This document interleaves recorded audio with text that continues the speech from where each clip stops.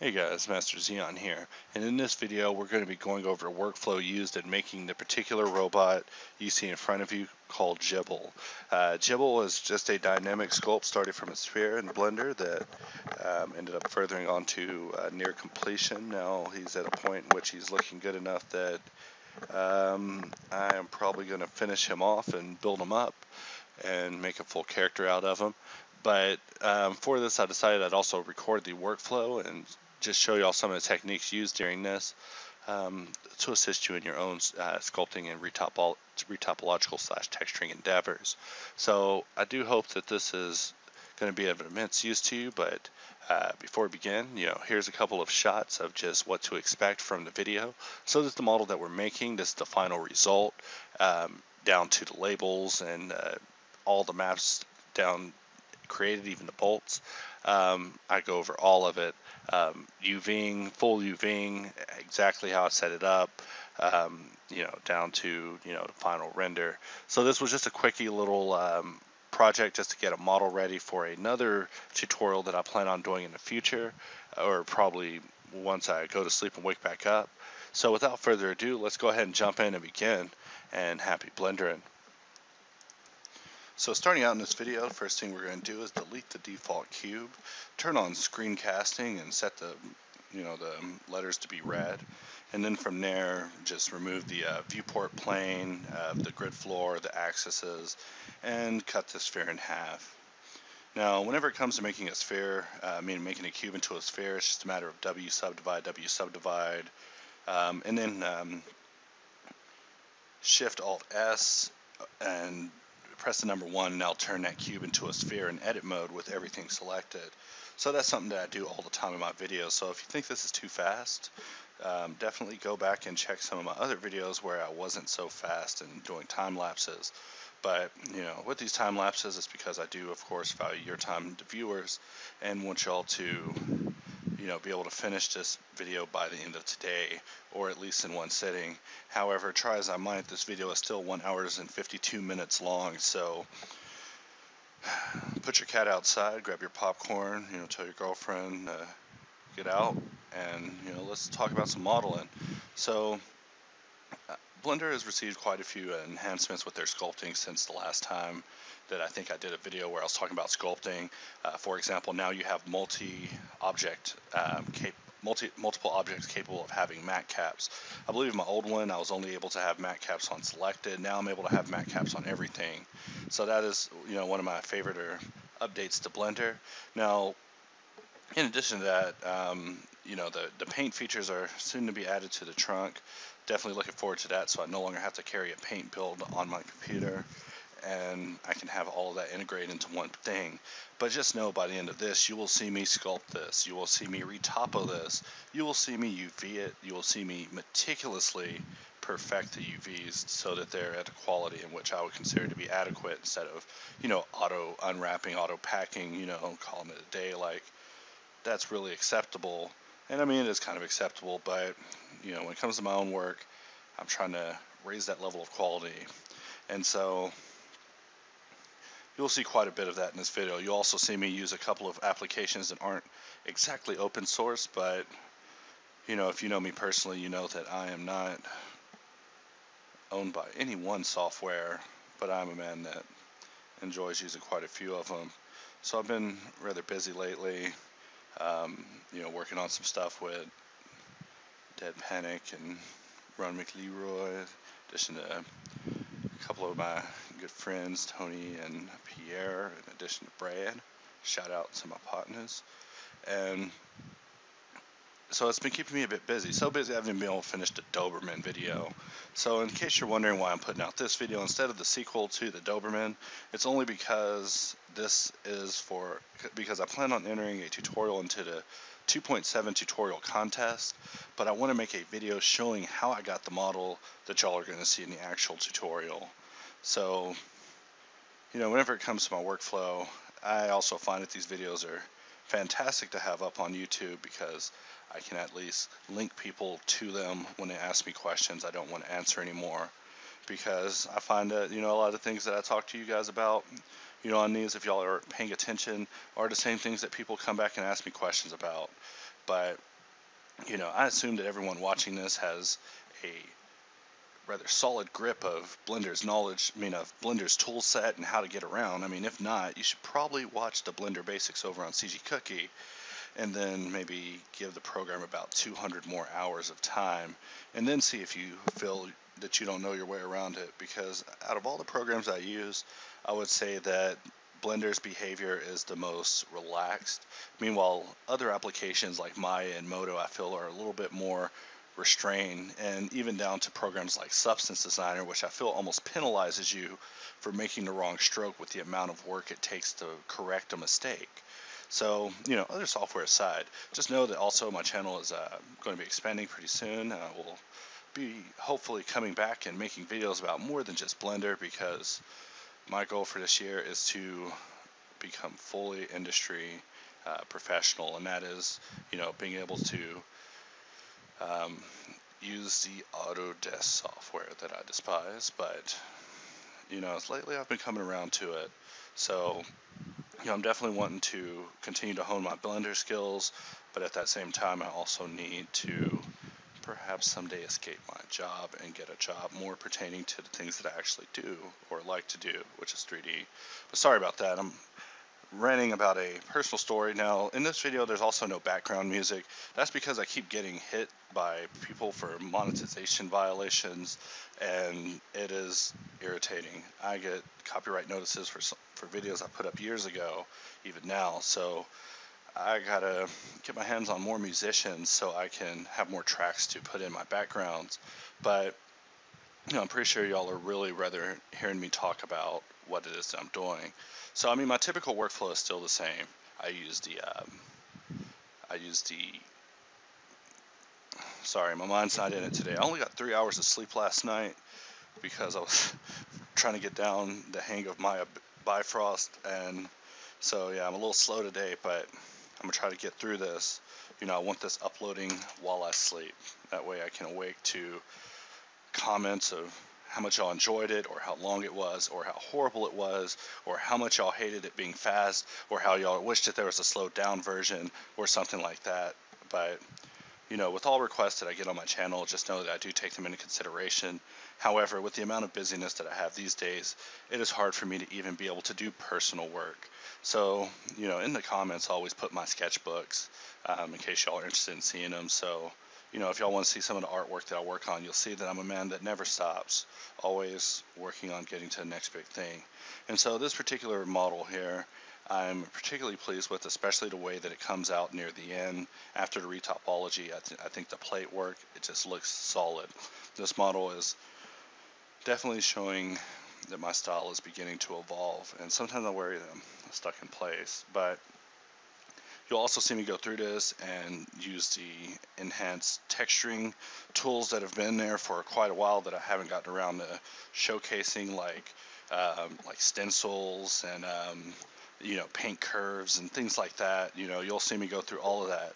Um, you know, a couple of other underestimated features is the camera looks for the for the render time, where you can actually make your viewport camera operate a little bit closer to another famous type of camera like uh, uh, I can't even recall one off the top of my head, but you know, under say right by color management, I believe in your um, scene tab, you know, there's things for that. You can also adjust your curves and um, exposure for the whole scene, and these are also things that you just want to just experiment and mess around with. I mean, y'all see me sculpting. What do y'all want me to say? Polish the shoulder. You know, I'm gonna polish around here. I'm gonna polish there a little bit. You know, that's a little jaggy. I'm gonna undo that.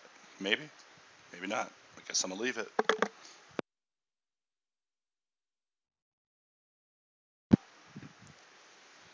Um, I'm trying to think of more things to, to talk about here. Uh, sorry, I don't want to leave you all with, with, moment, with spouts of silence. Um, so whenever it comes to sculpting these things, it always starts off for me as a bust. I always sculpt a robotic bust, and then from there I'll play with it, expand on it, render it places, you know, pimp it around town.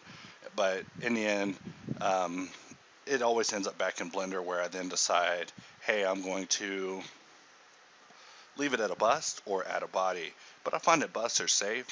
um, to do as far as art pieces because even if you leave off on it on a bust, you can still add it to your folio if um, your folio is at that level of work in which you're showcasing busts and not completed models. But um, definitely, and I think you know the bus helps sell the character and even helps me come back to wanting to finish this.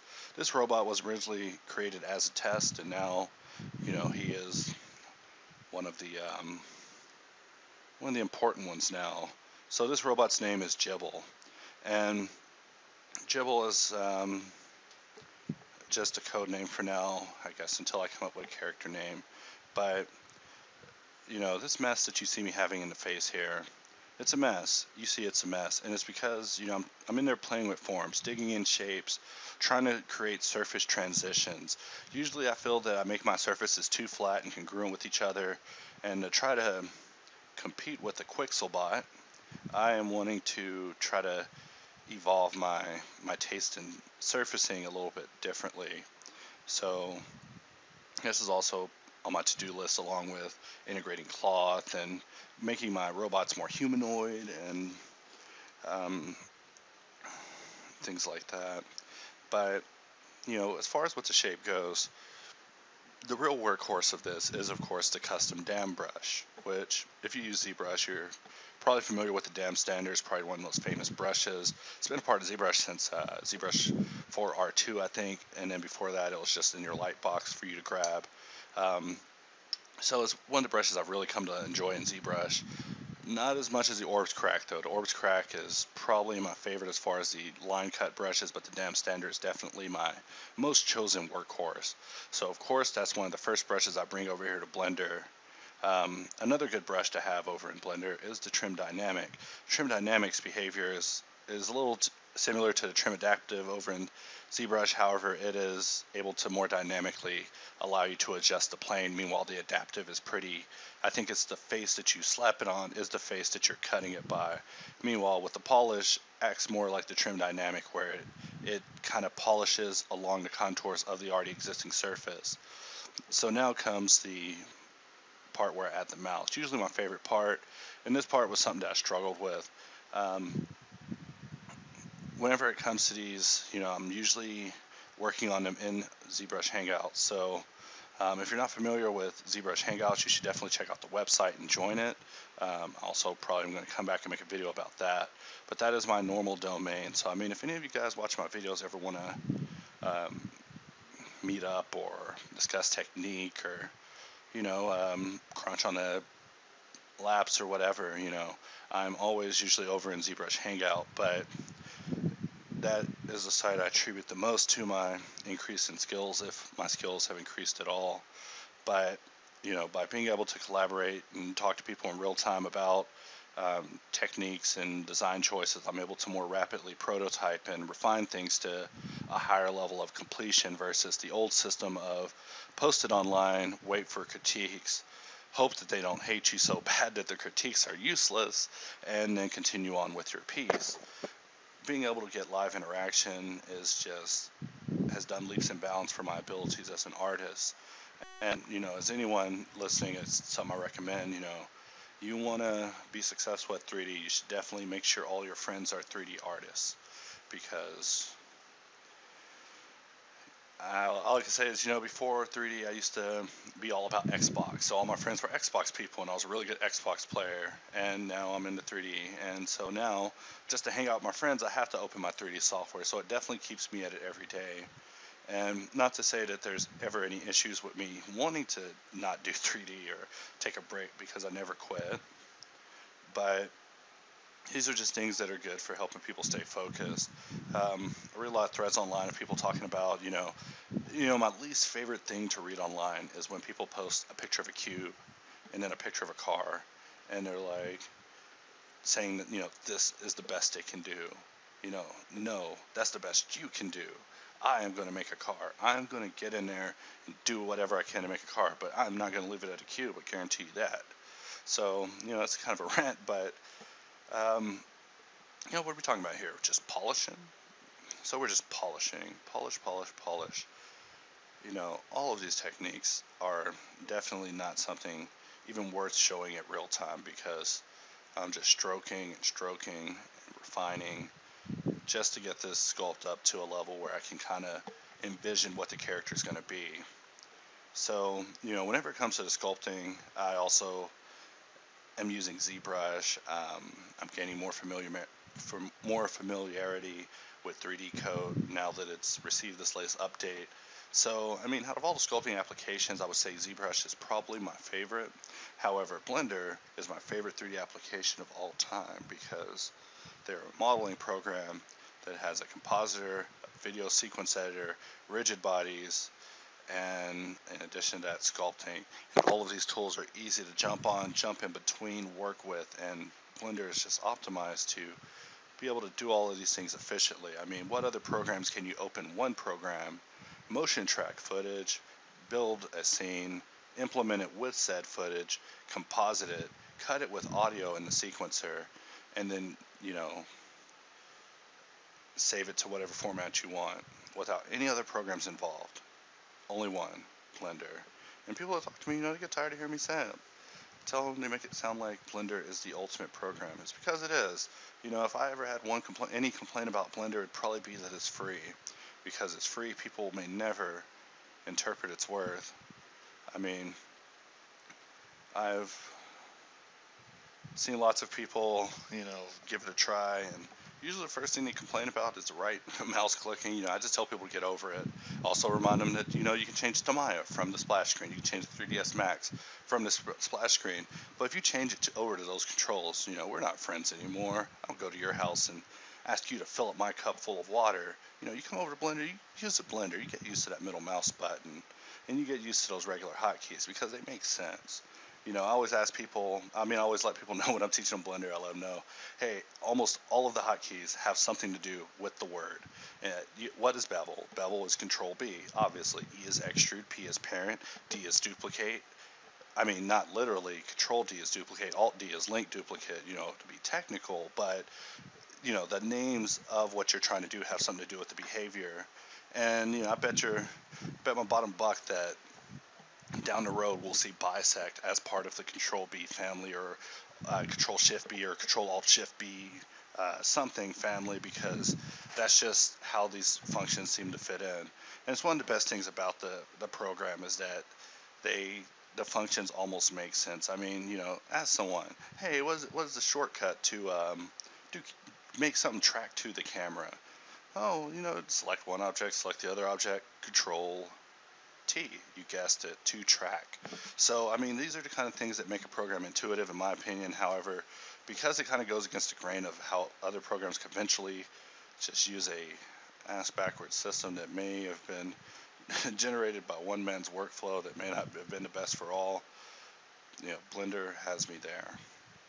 So now the model is nearing on to the completion stages. So now I'm just going to come in and just add small intercessions um, just in certain areas of the armor so that that way um, it allows for more interesting things to be done to it later on. Now whenever I sculpted this, um, I immediately got to the point where I was just like, you know, I don't even want to mess with this no more. I want to go to sleep. I don't want to retopo, you know. And if I walked away from Retopo, I may not have been walking back at this to Retopo because it's always so much funner to just get in and sculpt than it is to have to think about choices and geometry and all of that. You know, I really love the creation process. Um, and so, you know, I got down to retopology and you know, by the end of it, I was actually having a pretty good time with it. Just, um, just kind of analyzing the choices that I was actually having to make at that time, thinking about how I was going to go over it in the same video um, and just kind of, you know, we'll get to that part. But um, yeah, I'll try to do a couple of more things about topology um, since that is one of my largest critiques of um, other people's work is uh, line work. Line work isn't I, I, would say line work isn't a science, but then all the people with bad line work would argue and say that, you know, I don't know it. It's obviously a science. But you know, it's it's all down to choices for me. It's like, should I fold this edge in a way that keeps it flowing, or let this edge get all sheared, going the way that it's not supposed to?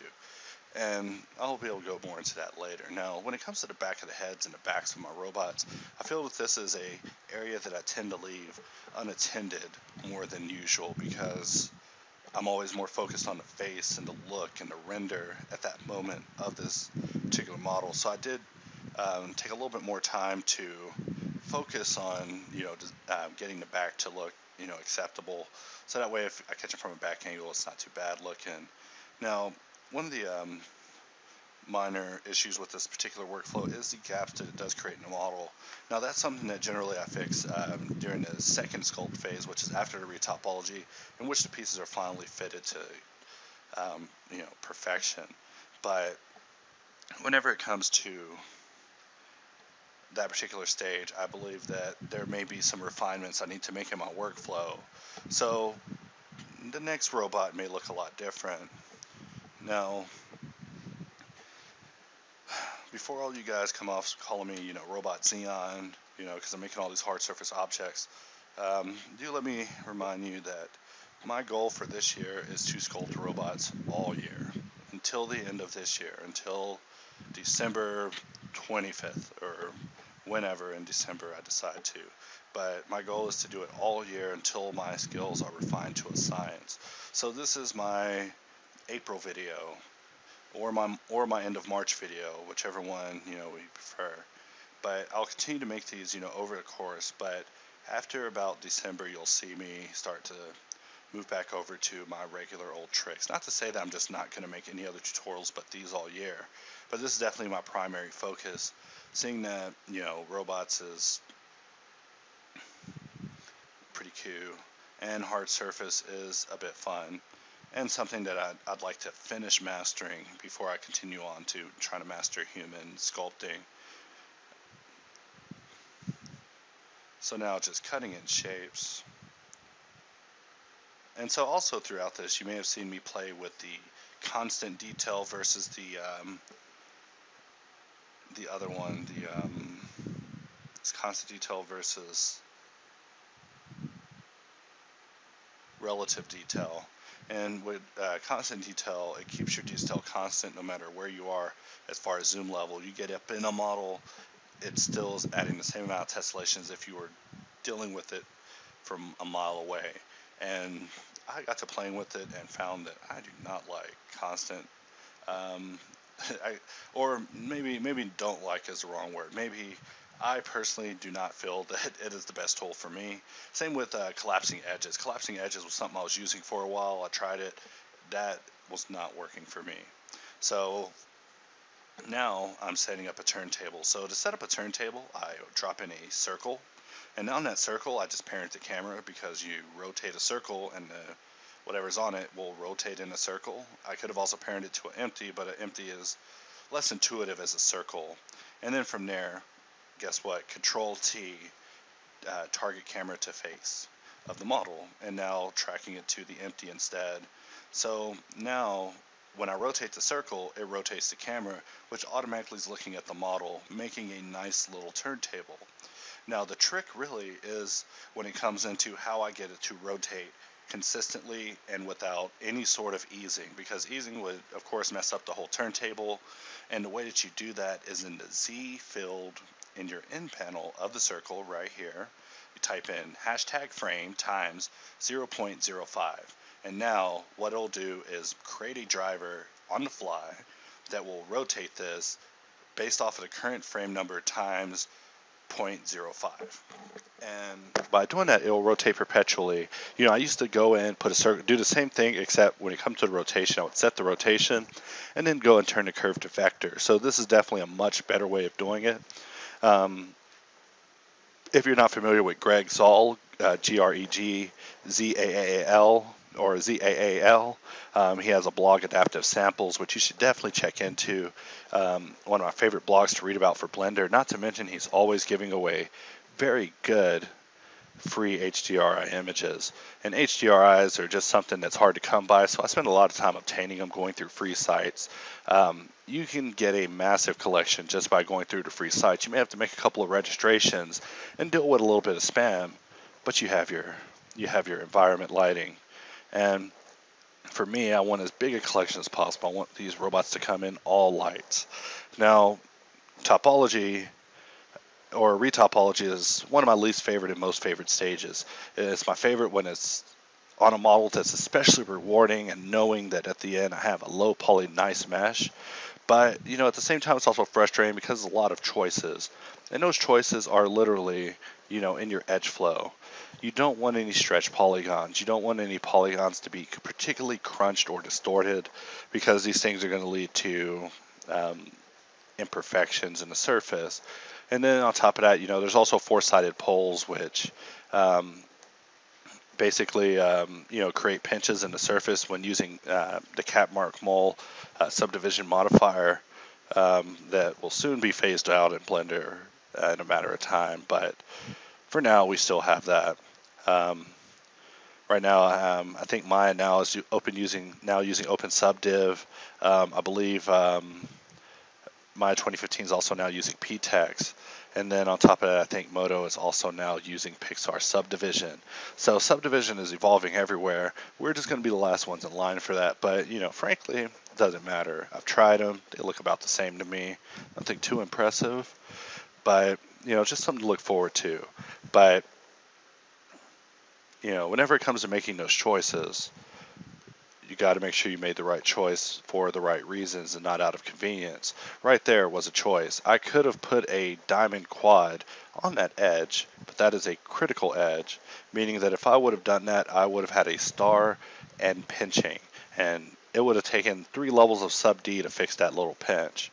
But because you know I corrected it, you won't ever see that happen. So in the other view, go in local mode.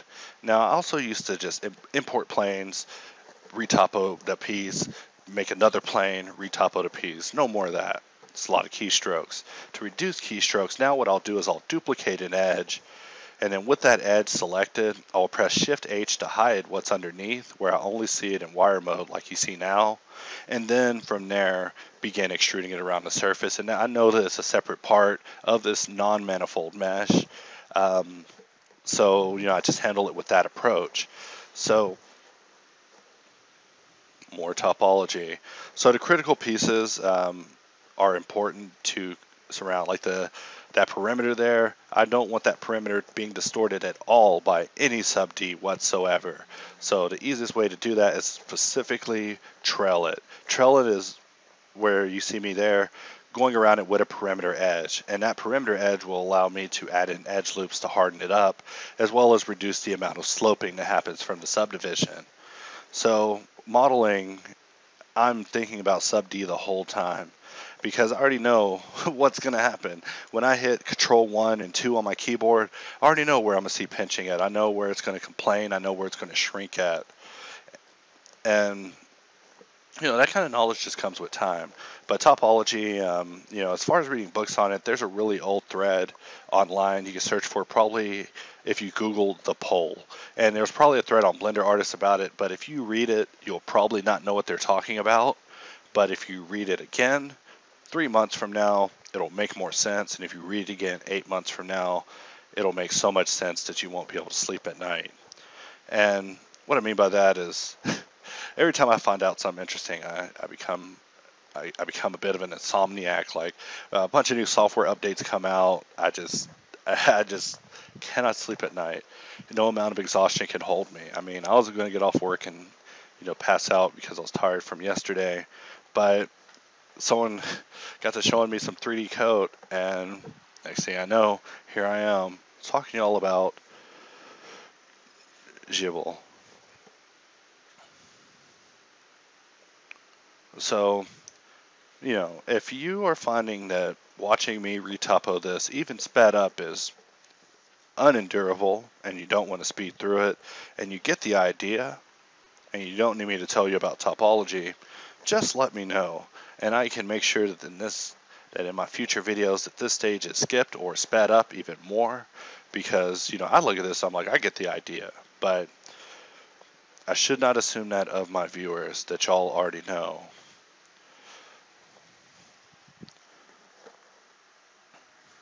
But you know, the longer these videos get, the more there'll be a time lapse.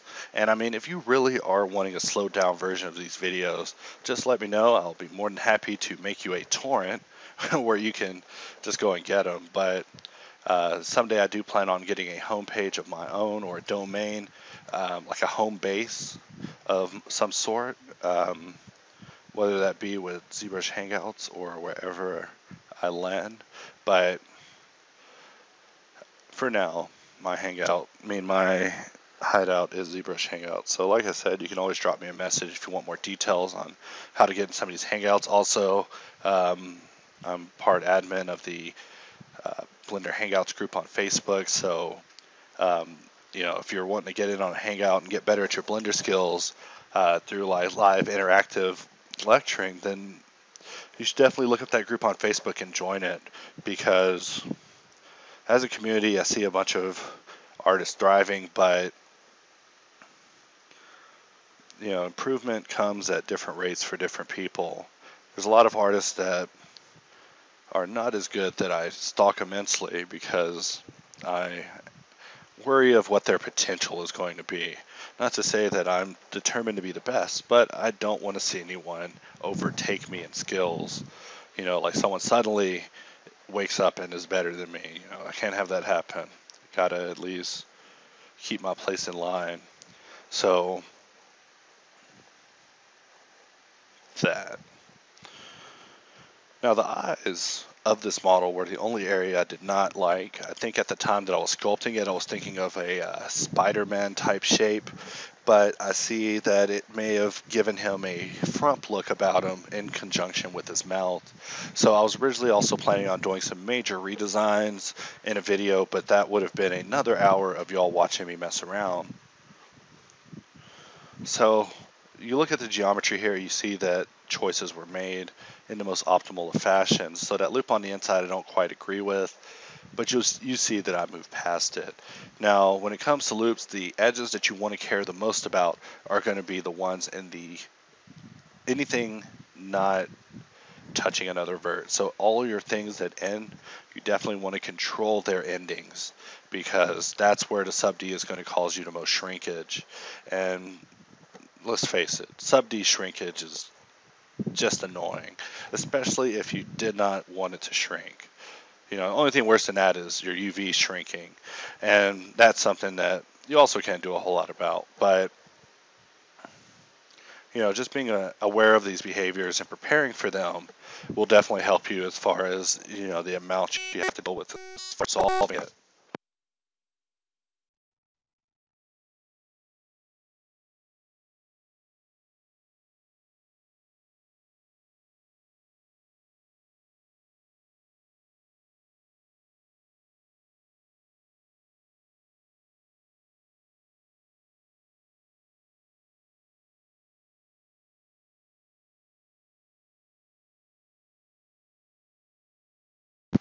Do, do, do, do, do. No, just kidding. I'll get totally flagged for that. Can't even hum a song to you guys.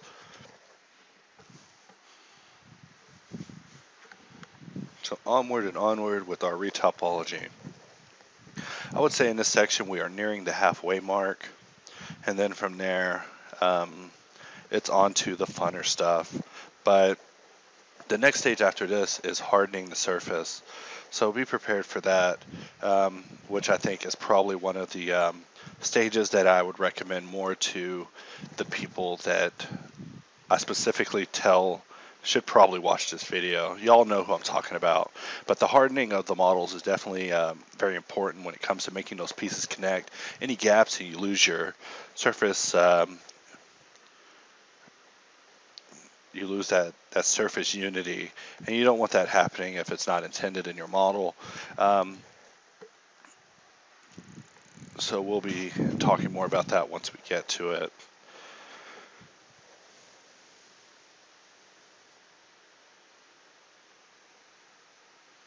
So when it comes to making these pieces, you also definitely want to make sure that you make it not only an intelligent choice, but an efficient choice because with this, this should have been three verts across and about 10 sets down. But as you see, it's being that it was expanded and there's a interloop added on the middle on the median of the crease, which in retrospect may not have been the best choice. But at the end, whenever you look at the smooth version, any areas that seem to pop up or out, those are things that I consider to be bad choices in my modeling. So when I look at it, I take a real hard look at those things and resolve to fix them in the future. So the main purpose of this is to make a video about how to put models on Sketchfab, you know, nicely. And this is just how the model was made for it. So keep in mind, you know, I made this thing in one sitting. I sat down in my chair, sat up, this robot was waiting for me to come back. That's the way you gotta that's the way you gotta do it. Nothing's better than than finishing something and looking down and seeing that your model is, is looking back at you and it's looking great.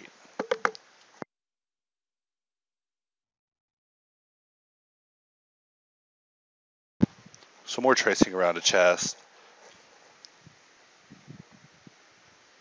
So first we'll establish the perimeter. That way we know we're safe. And then we'll trim around the hole. After doing a little bit of manual adjustment. And now trim around the hole. It's important to have loops around critical landmarks. That way they're somewhat isolated from the rest of the geometry. But um, I'm actually teaching a, a, friend of mine about uh, topology right now. So um, this is the, just a surface of the object, so it doesn't even matter what gets filled in in this part because we see it's really just a flat plane. We just want to, you know, fill it in gracefully and not do anything unnecessary. But the edges is what matters because that's where the loops are going to be inserted.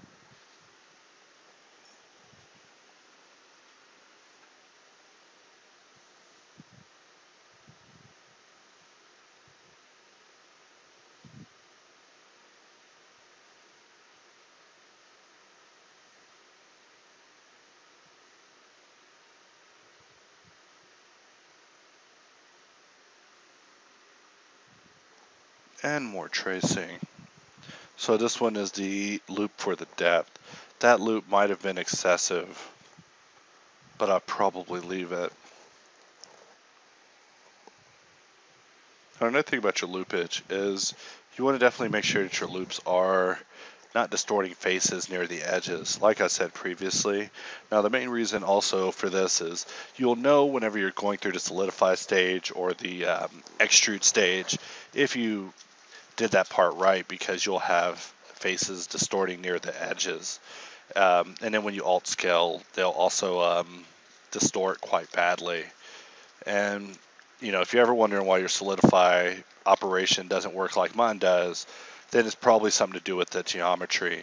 But just keep in mind that stars and stars don't handle bevels well, and they also don't handle extractions well or anything like that. So I mean, they they have a place in the model, and that place is nowhere near the edge. That place is isolated, maybe maybe contained in a C loop, but you know what do I know? So more just topology. At this point in the model, I remember I was definitely not wanting to do this anymore. I was wanting to just play some video games or go to sleep or something, and I just kept going, just kept going. So proud of myself. Just kidding. But I am a little proud of this model. I like this one a little bit more than maybe even the last one I made. Um, but the Doberman definitely have some good things planned for that one. I mean, probably in the next video I'll come out uh, working on it some more, and then you'll see me probably play with it in Substance Painter. So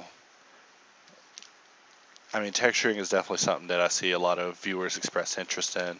So I'm trying to um, implement more of that into my tutorials instead of focusing so much on modeling. But you know, modeling is definitely the foundation of of using Blender because you know you can't model. What you're going to be using to play with? Cubes. You know, I think that's also part of maybe where uh, new users sometimes fall off, and maybe even part of why Blender has such a bad rap is that, um, you know, just like the the people I deal with for a living, dude. Like, um, people are defeatists. They will, if you look down and you see a horrible looking sculpt, or you've uploaded a horrible looking sculpt and you receive nothing but horrible critique, it's probably going to take away some of your enthusiasm for wanting to do 3D. So this is another reason why um, you know the the Blender Hangouts is such a, a great idea as a resource. Um, I'm trying to be more committed to it and at least make a room every weekend, like a, a uh, live room, where people can just drop in with uh, projects and questions and stuff like that, and just kind of lecture about things on the fly. But yeah, definitely look us up, Blender Hangout on Facebook. I might even put the link in the chat. But when it comes to Hangouts, though, ZBrush is where it's at. In fact, if y'all if y'all want to see more of my sculpting goodness, then be sure to run a YouTube search for Meshed Up because I am on a lot of the later episodes, which is you know a real pleasure being able to sculpt next to people that I never thought I would ever meet, like um, Vitaly Bulgarov and uh, Joseph Drust and uh, Paul Gaboury, who are all you know quite large names in the uh, CG field, and to be able to you know intermingle with these people definitely has helped me um, as far as my confidence in 3D and want to achieve you know even greater things. Um, so yeah, it sounds. I probably sound a little, a little ranty and random and off topic, and totally not talking about retopology or sculpting. But you know, what am I gonna say? Extrude here, fill that, um, extrude here, and uh, extrude there, extrude there, extrude there, and connect, and extrude these down. Yeah, that would be totally boring. That's the kind of stuff that'll put you to sleep. So, you know, wanting this being more of like us hanging out, but y'all are watching a time lapse. You know, all these, all these people, all these Blender artists now are making podcasts. I don't have anything against podcasts, but Christ, podcasts are boring, and you're artists. Y'all should be sculpting while y'all are talking to me, because I'm sculpting while I'm, I'm listening to y'all. But you know, this is my little rant about podcast, and I know Andrew Price is doing it. Same with uh, Reynante Martinez, and I've been needing to catch up on all of them. But yeah, tutorials are just so impersonal, and I'm trying to evolve mine to have like a, a special touch to them, where at least you can tell that this one is a Master Xeon tutorial. So here's a choice. How do we solve this triangle? We can solve it like this. And be done. So how do we solve this? Slide, slide, fill, fill, fill. Nope. Add a loop. Slide, slide, fill, fill, fill. And now it's done. Um, one of my favorite things and first things I always show off to people that, are, that come from other 3D packages in Blender is the F2.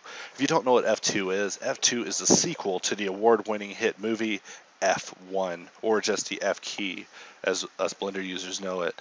And you know, F is just fill face. Um, they made some improvements to it that are just phenomenal. You can just select an edge and just F F all the way across that, that plane or form and just fill in things in between. I mean, it's intelligently judging where your cursor is to put the next face in. It's just brilliant. And it's something that no other program has. And I remember, you know, as long as I've been using Maya, which has been about a month now, I actually found myself having to stop and ask someone last night, hey, how do you fill a face? You know where you wouldn't have to ask that at? Blender, except you know where people always ask that at Blender, and what button is it to fill face? F F F F F. So I mean, if you're ever wondering what your what key does something, you know, if you besides pressing spacebar and just searching through that menu, which will tell you, you can always um, just maybe try using the combinations involving that button. I mean, I found I find out interesting things about Blender all the time. Like for example, did you know you can rotate your your camera view? You know, you press one and three, you go from front and side. Did you know if you have an object selected, you press shift and those buttons will actually orient your camera to the side of that object's local orient in space. So you can literally look at an object that's been rotated 90 degrees on an object level and look at it from the side view based off of just some simple keystroke presses. And those are just, those are the powerful things that really just keep me using this program. Um, I get a lot of people now that are like, you should just leave Blender. You should just forget Blender. Just never use it again. You know, just go pro, get a job in the industry. Just, you know, just quit using Blender. No, you know, I have put a lot of time in this program, put a lot of time into it. You know, if I learned Muay Thai to a science and was able to kick people to death with it, and I started learning Kung Fu, I'm not going to just stop using as a horrible example, but you get the point. I am not one to be particularly racist against a software um, unless it's Autodesk, and I will say no about 80,000 times before I ever say yes. I mean, you won't see me in no Mudbox. Not me. All right. So, you know, retopology complete. On the stage three, hardening up the form. Hardening up the form is, the, is one of the most rewarding things um, in this entire workflow. Nothing's better than just finishing this thing off and watching it come to life and look slick and luxe in front of your very eyes while you're working on it, while you're you're making your choices. So now this stage we could call choices too because every loop we're adding is basically in my eyes the manifestation of a choice that I previously made. So right here, wrong choice. So we'll get rid of that, get rid of that, slide that even, choice corrected, add a couple loops there, and so the edge flow is always what determines how I harden it. And so if you aren't familiar with topology and you're trying to follow this robot video, then just know that no stars on the outside, no interior faces. If you have no interior faces, then guess what? You can take this whole thing when you're done, select all with A, press U, unwrap, Control A, Control P, have a nice UV set. But if you have interior faces, then the unwrap is going to require seams to break it down, and that's just kind of a lot of work. So, you know, if you wonder why your meshes break down when you select all and press U, it's because it's maniform. I mean manifold, and if it's manifold, then there's no seam to tell it where to split. So it's just going to show it in spaces like, I don't know, a big quadrangle or something, which is what it always looks like when I mess up on UVs. So that's one of the reasons I never keep interior faces. Also, they don't show to the render. They also raise my face count. Sub D seems to affect them. So, I mean, there's lots of reasons why you wouldn't want interior faces, but um, just don't have them. Just don't have them. I think I even mentioned that in my UV video. I think I'm about to make a sequel to my UV video and call it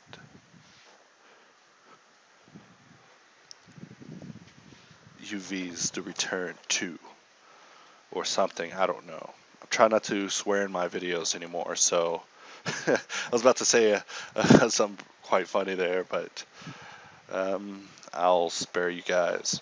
But yeah, UVing's nobody's business. I mean, if you're using Blender, just know that you have some of the best UVing tools out there. Just know that your your other software uh, compatriot buddies that are trying to you know show you how horrible Blender is. They're using Headus, they're using uh, Roadkill, they're using Maya's horrible UV setup, but they have no idea how solid, how crisp, and how easy it is over in Blender. I mean, I plan on using all software. That way I can tell people just how much it sucks. But actually be correct and let them know in their tools this part is what's wrong and it's because we have it like this. You know, Maya, I was really digging Maya pretty, pretty hard when I first started using it, but it started getting down to the beveling and the menus and the, the workflows and how to having to remember how to set something as easy as a driven key, which in Blender is incredibly easy. Same with quick rigging. When I put a three bone rig in a bust, very quick. Maya not so quick, but it does have paint effects. They also have Bifrost. They have some modeling enhancements that would make your eyes bleed in this next 2015 version. But even with all of that, still not faster, still not better, but it's getting there. And that's always good. I love seeing how good these programs are getting. I mean, even 3D-Coat right now is getting very, very good. If you haven't seen the latest um, release, you should look at its YouTube on what the new features are in the next 3D-Coat. 3D programs are their technology is getting way, way better. I mean, with every update, you should at least read their release logs because in some way or another, their release log is affecting our release log. And you know, when a program gets a revolutionary new feature that is a game changer, you should probably go and check that out because if it's changing their game and, it, and these are professionals talking about it, then it's definitely going to change our game.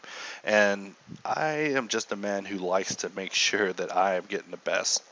And I'm, you know, getting the best for my tools. So I'm always experimenting and checking around to make sure that, um, you know, another program doesn't have some feature that I'm using a thousand keystrokes to do in my native application. I mean, to be honest, I could Z-remesh this thing, slice, curve it, and be done. But it's messy, it's nasty, it puts triangles and poles, it's impossible to UV. Z-remesher, Z-remesher. That's all I can say. But, you know, if you want to spiral down the rabbit hole, go ahead and use these automated UV tools. But it will not compare to getting in there and manually laying down each vert like the law oh man, I'm definitely feeling loopy. And it may not be my best day to make a video, so I hope that y'all do find this entertaining, or at least are happy to see this because I've been away a while and I haven't made a video where I talked in a bit. And you know, even though it's kind of ranty, just going to workflow, don't worry, it gets much, much more interesting as this video goes on. And we're only 50 minutes in so far, and this video is still 60 minutes left. So if you want to turn it off now, go jump off a bridge or um, file your taxes or make a sandwich, then go ahead and do that. Except for jumping off the bridge, probably shouldn't do that. You should probably just uh, just keep practicing. You'll get better. Um,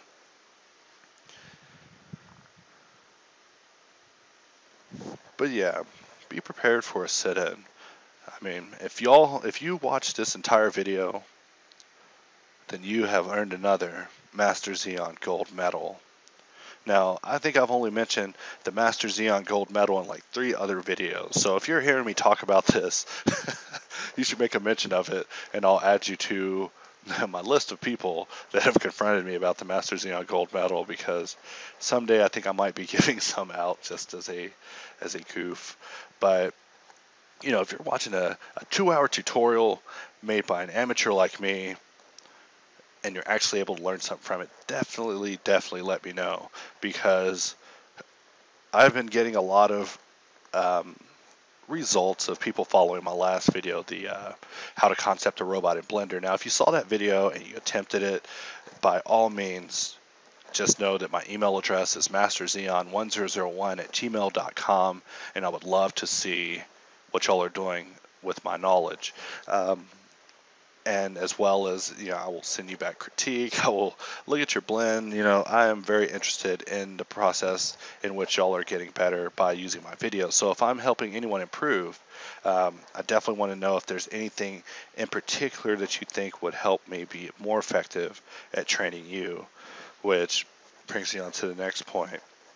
So if Andrew Price does still the idea, someday I'm going to be the one coming out with the Hard Surface Academy, and this is something that I'm still in the process of planning out, but um, quite a bit of my free time has been devoted to it. Basically, it's going to be a workshop that will eventually end up free on the internet, of course, because everything that costs something ends up free, and yes, this will cost something, but this will definitely be something I'll speak about more later on, but I'm hoping that it's something that I can make cater to everyone. Now, I think most of the uh, training packages are more geared towards industry professionals. Now, me, of course, being being the um, the king of the noobs, or uh, at least supported by the more amateurish community. Um, it's definitely something that I want to make both cost efficient and effective. Now the idea is to have a have a conjunction system of a tutorial series that will go with this course that you will have forever along with a one week live live meetup with me where I will literally beat you into making making better models which I can guarantee you will get you to results. This is the whole thing you're paying for, by the way. Um, and then, of course, a book. Now, this book is something that I've been um, drumming around in my hair. But imagine if you you bought a course, it came with a book about the course, as well as all the techniques implemented in it, demonstrations, a video tech, a video outlining all the techniques, as well as a recording of you personally actually being critiqued and um, guided through the process of hard surface creation. So this is also one of the reasons that I've been grinding on it. But you know, I did still real loose. I could abandon it, even still. But I just want y'all to know that it could be something y'all may be hearing about sometime in the future. So you know, if that's something that you're interested in, then I'd definitely like to hear more about it. If y'all think there's a particular magic number in the price that y'all think would work best for y'all, definitely let me know. But you know, I plan on um, being rather aggressive in its its cost because it is going to be the workshop I wish I would have received a long time ago. So, you know, it is basically going to be my personal impression on what I think would have been the most effective way of teaching me. Now, me personally, I think I'm retarded, or used to when I first started this. I mean, I used to be on Blender all day, every day, all day, every day. I mean, until until I started losing girlfriends over it, um, and it I, I just think that the amount of time it took me to get down to fun even the fundamentals of 3D may have been substantially longer than anyone else. I mean, I started in February of 2010 and I was pretty horrible up until 2012 and then I think I began to mark improvement in my work and noticed that there, you know, were some elevations in quality and improvement, but you know, for the most part, I think my lessons that I learned came much harder than um, the normal. I mean, you know, when you're learning Blender, you're Googling how to make hair or how to make fluid, and the person telling you is probably going to be a little kid if you go on YouTube and search for it. You know, the education system of Blender is something that I think um, needs quite a bit of improvement, but it's something that's being improved.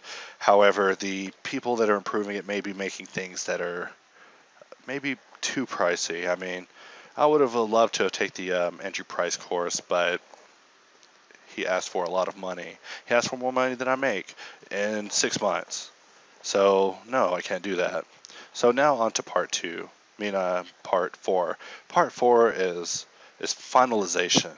Now, like I said in this video, you will see me go through some unconventional software I may not have demonstrated before, but you will also see me use a render engine or not so much a render engine, but a game engine called Marmoset. Marmoset 2 is amazing. It's amazing. That's the only way I can describe it. It's a it's the keyshot of game engines. And if you don't know what keyshot is, keyshot is the cycles of the professional world. All right. So it is it is just great. It's a standalone render application that it, was used in the Doberman video. So if you don't know what it is, definitely check it out. But um, it is great. So you'll see me do a little look dev in it. Basically, uh, the reason I use Marmoset is because not only does it give me a nice looking viewport render, it also takes no time. It also doesn't slow down my computer. It makes my computer uh, get asthma a little bit on the graphics card or something, but you know that's why I usually don't stay in the program very long. But I mean, I could have also done the same thing with GLSL, except let's admit it, between you and me, GLSL is not looking so great these days. Maybe they maybe Blender needs to also make the jump to PBR on its game engine, and then I think it'll be more um, more future proof. But right now the BGE is definitely um, going to be rapidly falling behind into last tier technology if they don't get with the PBR system that Substance, Marmoset, um, Unity, UDK, all these other um, game engines are now exploring. So, you know, if any developers listen to this, that's my that's my feature that I'm that I'm wanting to see is PBR and Blender. You know, Cycle's good enough. Cycle's have no problems getting materials, getting a render, but you know, the internal engine and the game engine, I think, you know, that y'all are falling a little bit behind, and there are still some things that can be done with it. Because I used to be a big fan of the game engine.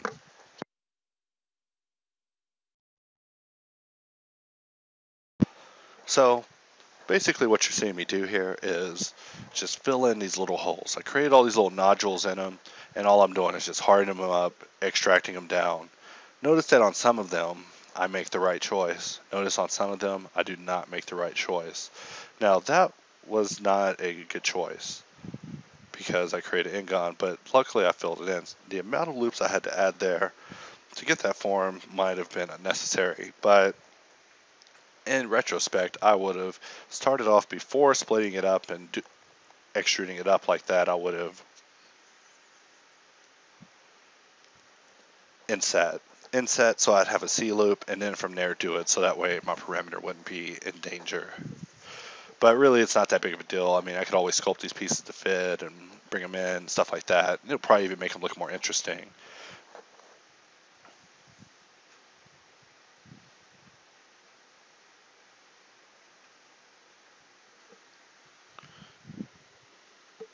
But yeah, it looks like we got about, I would say about 12 or 13 more minutes on this chapter, and then we're on to the next chapter.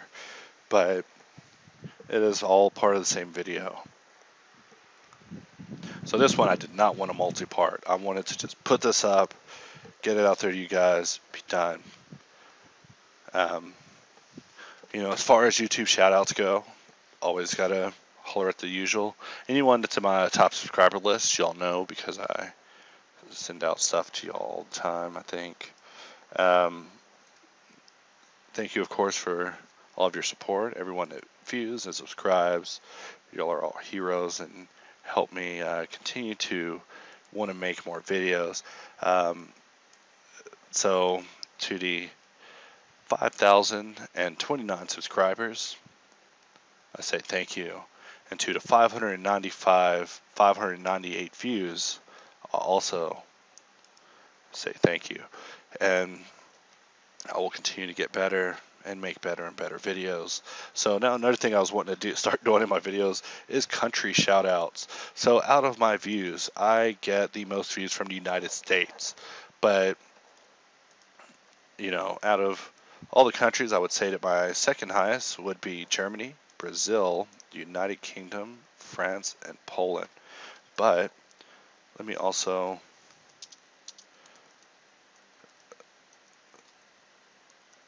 give a shout out to Canada, South Korea, Russia, and Spain. So to my to my Japanese friends, konnichiwa. To my German friends, Hello.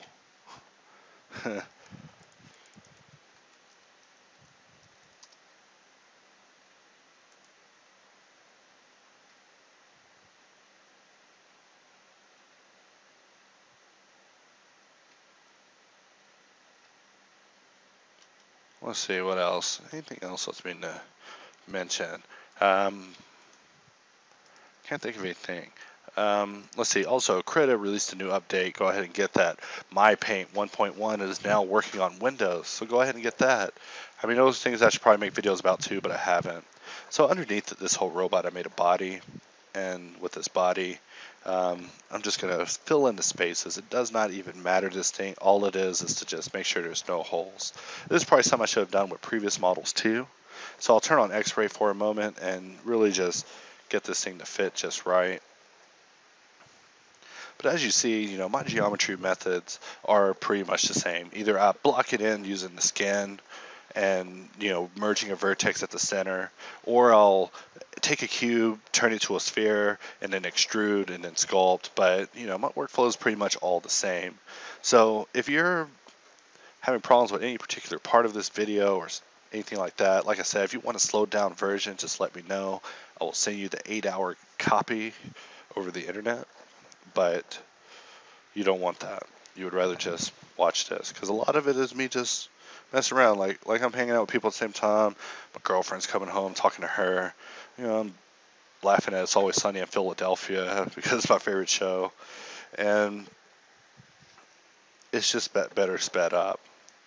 You know, I wish I would have started speeding up a long time ago.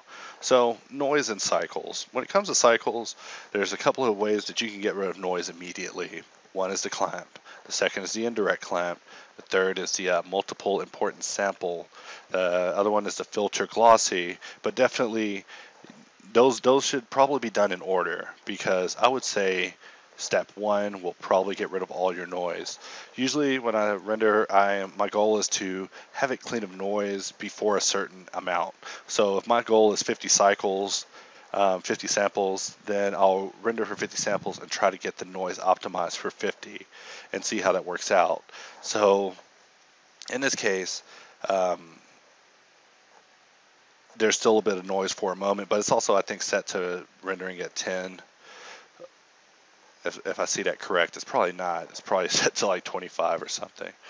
But you know, noise is something that I definitely fight against. And I mean, the last ditch, last on the list to get rid of noise is just put a little filter on it in the compositor. Not the best idea, but I do it occasionally just to clean up noise. Like if I'm about to take the indirect lighting path, color curve it, and add it back to the original render, then I'll probably go that method um, just because it's a little more controlled. Now, another thing is poly painting. When it comes to painting these things, you know, I could UV it, paint it especially, but I don't. Instead, I use uh, Vertex Paint. Vertex Paint just works out good for me. I just want to lay down base color schemes, add variants, and this also just kind of gives me an um, idea of kind of what I'm looking at here. Um, so, you know, it's really, really up to you. Um, you could also just use material indexes, but really color paint, I mean vertex paint, it's just great. I love it. It's so fast, and it doesn't require UVs. It's almost like um, like PTEX in Blender, but it's totally not. But I mean, that's how I kind of look at it. I mean, a UV-less workflow. What else would would the answer to that riddle be?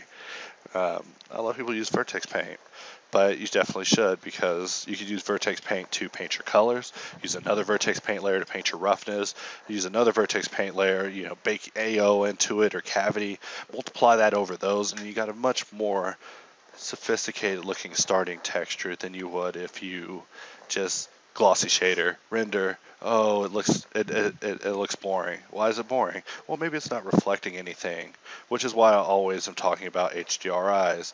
You want your you want your robots to reflect some, either an environment or a mesh light, but you want you know that that reflective to whip across on the shape somewhere. And on mine, you see it's real hard on the head, but that is the kind of thing that I think adds a lot of um, visual interest to the model, as well as indicates you know this robot was built brand new wiped down in butter and then put out to fight humans.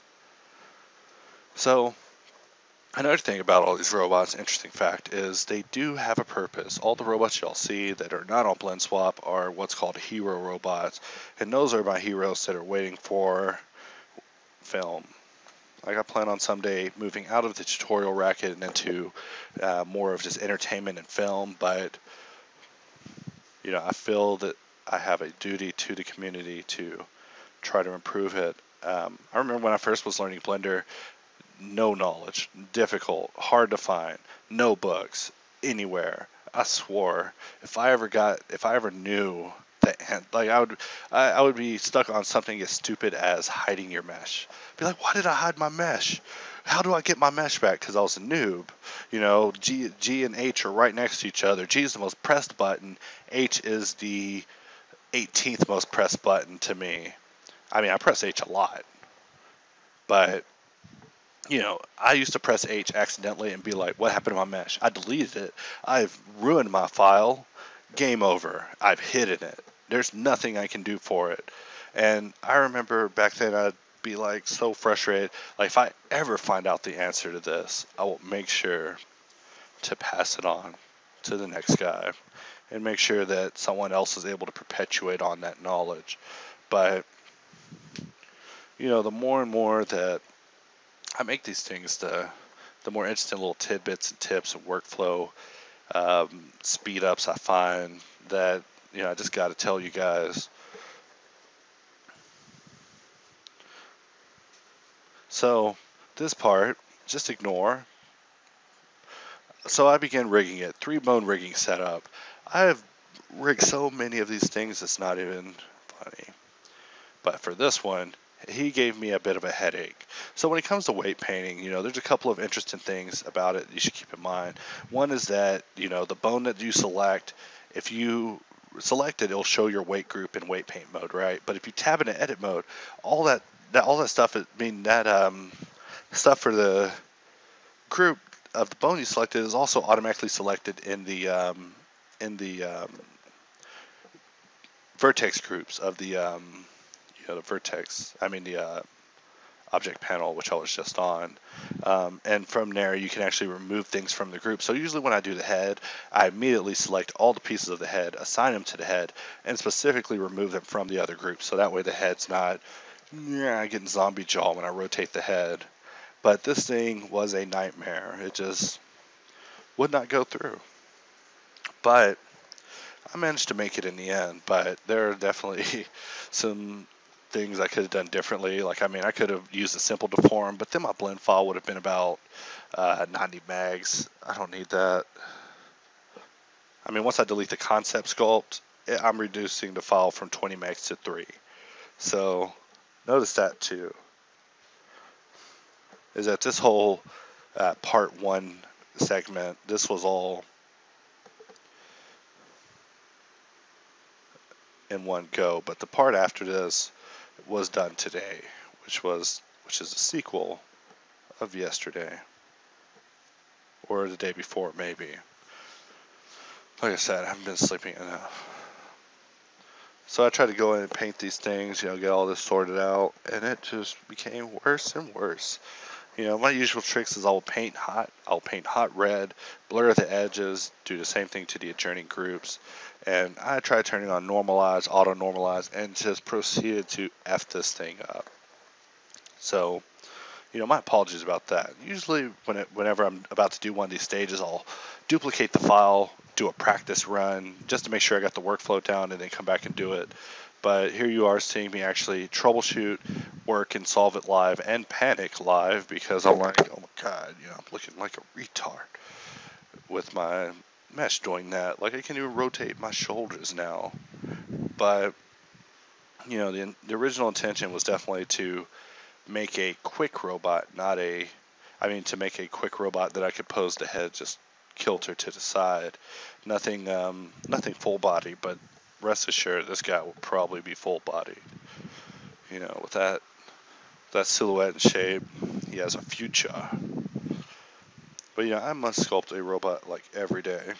And you know, as a result, I have a lot of rejected robots, like robots I just don't love for one reason or another, um, whether it's the shape or the blockiness, or because the critique I received on it led me to conclude that this was an unacceptable model and things like that. But I've kind of worked up a system for for detecting on whether or not they're worthy of being considered heroes or just you know props. But yeah, imagine that everyday robot. Maybe not every day. Maybe maybe like four robots a week. And some days being two depending on, you know, what I have to do.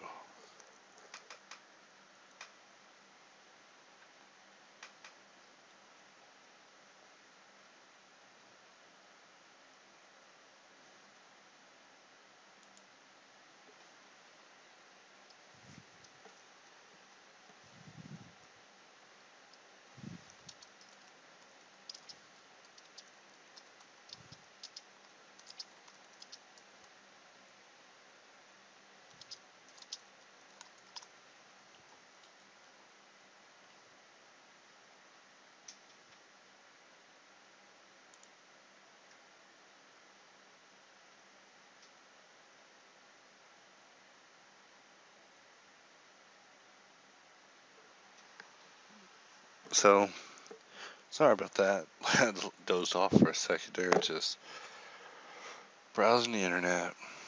So from here, I am just adding a couple little buttons. These buttons end up getting deleted, but they just kind of add to the to the visual interest in the viewport because I felt it needed some uh, chest indicators glowing to just look cool.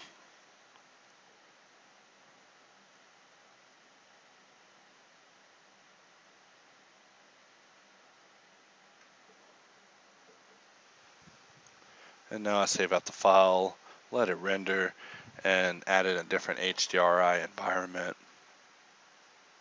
So when it comes to this, I usually just jump through random multiple ones, but I have all sorts of them. And I mean, this is just one folder. This is my favorite folder. I have another folder that has my not favorite ones, but pretty sure, depending on the situation, some might be more relevant than others. So I'm just going to add a little glow there, and that takes care of that.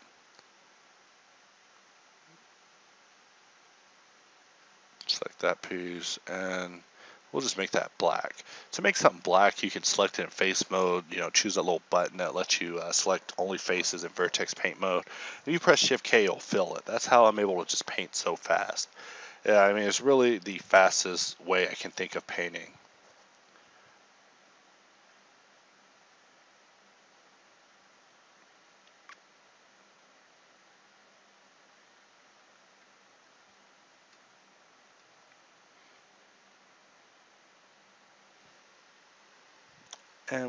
This up and watch it come out looking magnifico.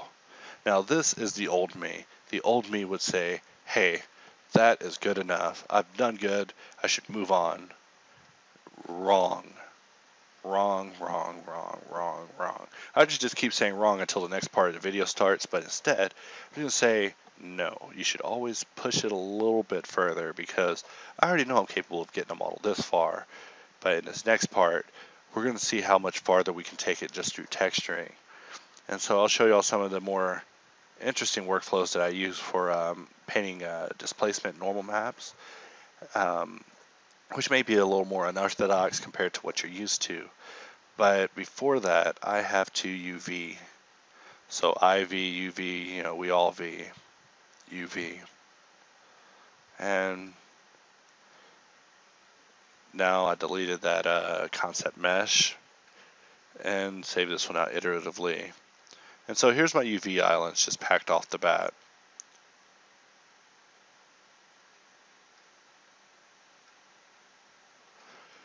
So what I do is I take each piece, unwrap it, hide it, line the pieces up, just get them uh, next to each other looking uh, correct so I can put them next to each other and I just rotate them to correct orientation and just hide them. And what I'm going to do is reveal each thing separately, put everything where it's supposed to be separately, and then just continue on. So this is a completely different workflow that I've never used before, but over the course of teaching um, one of my friends uh, some things about UVing, it got me to thinking about different ways I could be UVing so that's the type of thing that creates a lot of, um, it's like the mother of invention for me, is uh, teaching. I think teaching is one of the things that has helped, uh, or teaching you guys through YouTube, not to insinuate I'm a teacher outside of YouTube, but teaching you guys over YouTube has definitely uh, helped my skills. Um, I mean, sometimes, sometimes I'm modeling and I hear my own voice in my head, being like, you know, right here, I think I would, uh, I think I would extrude, you know, don't even mess around with this. But, you know, these UVs I'm going to lay in one by one. And this is what I call meticulous UVs because when you put them in like this manually, you know, you can get it as perfect as you want. And my goal is to give a large amount to the front part and lesser of an amount to the back part.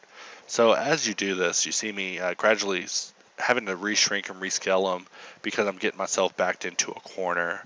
And this will happen several times throughout this. But spoiler alert, I saw how this ends, and the guy's a winner by the time he's done UVing, you know, in case you didn't know. But you know, when it comes to this stuff, it's not cryptic at all. If you do not make it double-sided faces, you unwrap, blow. You're done. I mean, um, I don't know if I'm telling y'all something that y'all already know, but you know, I seriously will talk to someone about UVing, link them to my video about UVing, and then they'll come back and say something like, I'm going to go ahead and run Headus. You're going to, you know, I think I'm just going to quit talking to you, bro. Um,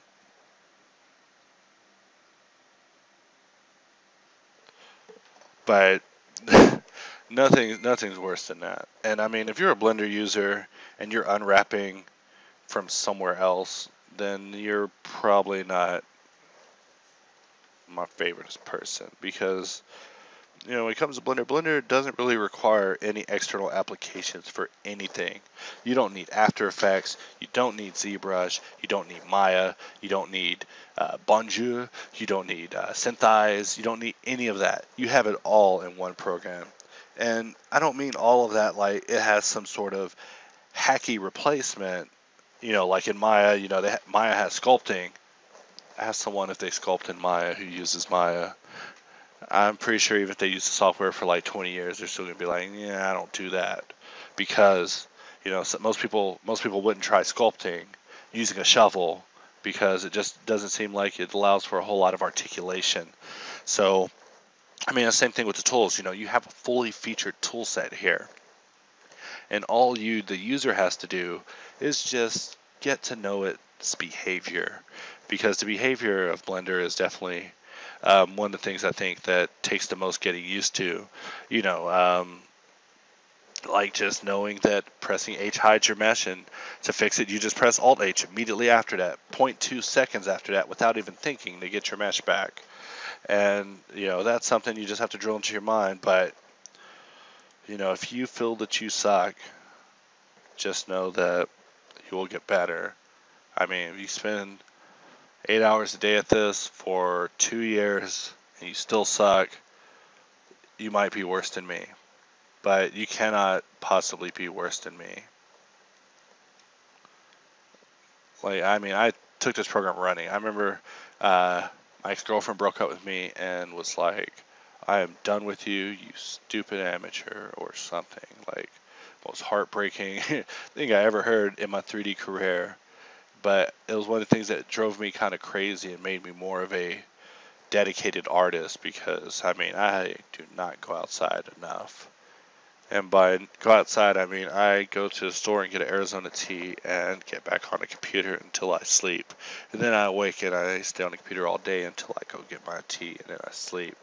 But I mean, this year I've probably received about, um, probably total, I would say, 10 hours of exposed sunlight. And then last year it was probably about 10 hours too. Like I'm pretty um, pretty dedicated to my craft. I just kind of concluded that if I can't be as good as these people and I don't have any talent, then I can at least sculpt all day, every day, and force it until it's good. And you know, forcing things isn't always good. I mean, if you don't feel like sculpting, um, like my boss was telling me, you know, if he doesn't feel like sculpting, he just doesn't sculpt. And you know, after he told me that, it kind of kind of made me think, you know, like, you know, maybe I should not be forcing myself on days when I don't, because when I do, then I'm just like, oh, you know, I just want to run away from my computer and 3D and being stuck on the keyboard, and you don't want to do that. You don't want to burn yourself out. I mean, I'm trying to burn myself out so I can see what it feels like to be burnt out, but really I do CG as if my life depends on it. So now you see me fitting the, the buckles in this same UV set. So I should have unwrapped it to begin with, made these things fit. Didn't do it. You know why? Because I'm silly. And because I was thinking, hey, I'll give those buttons their own UV map. That's a horrible idea. Those buttons don't need their own map. They're part of the model. And then, so I'm still making another mistake. So I'm getting these pieces to fit, but I still need to get the eyes mirror merged and then also added to this as well. So, you know, I have my work cut out for me. And so now we're at the 120 mark, which means that there's about 20 minutes left in this video, and I've been pretty much talking nonstop for like two hours, or like an hour and a half to be realistic, or to be uber realistic, one hour and 22 minutes. to any of you time Nazis out there, but I'm determined to see this through to the end. Because I'm telling you, the moment this is done, nap time. Or maybe, no, no, see, that's my problem. I keep trying to go to sleep and then I, like, you know, I think I'm going to do something else. No, I should just go to sleep and not sculpt anymore. But, I mean, look at this model. I should expand on this thing. You know, I should, I can do so much to this. And I should. But I'm not, you know, walking away walking away. Now this particular model, like I said, is a hero, but he is a a surprise hero. So as a result, you will be seeing this file up on BlendSwap for download in case you want to download and inspect my scene, my materials, my uh, textures, any of that, or just have the model to follow along with the actual tutorial that this is intended for. And the only reason I keep adding the environment is because I like seeing the uh, depth of field in the background. But, I mean, you look at his face, he looks a bit frumpy.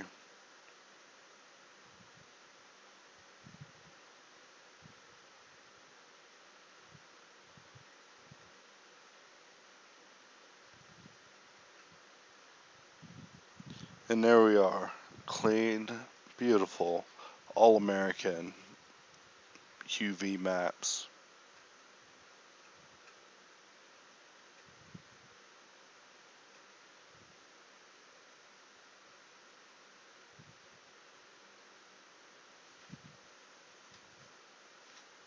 The next thing I do is add the eyes to the rest. Could have done it at the beginning, would have been smarter. But I'm not the smartest artist. Like I, like I told y'all, it took me a while just to get past the fundamentals. I mean, even the fundamentals were hard lessons for me. So, so I mean, if I can do it, anyone can do it. Or at least I, sh I sh should hope. So by moving those UVs, I'm able to just fit these islands in there real nice.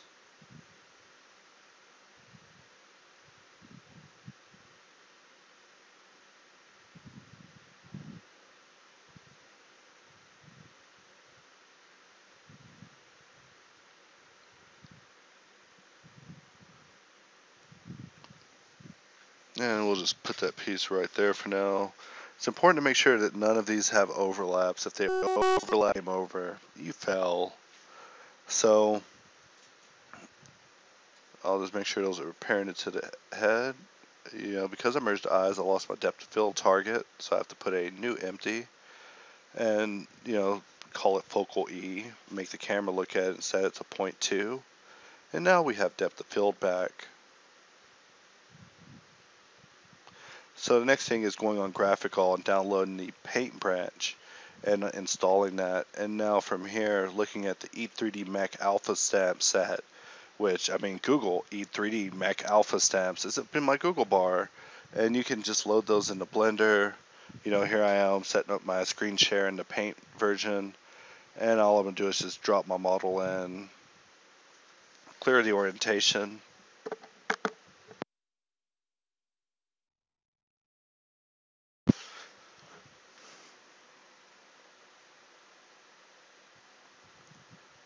from here, begin trying to set up a 4K texture. So one of the things I forgot about Blender now is in order to paint UVs now, you have to assign it as a texture on the material in the paint branch, which is probably going to happen in the real branch as well.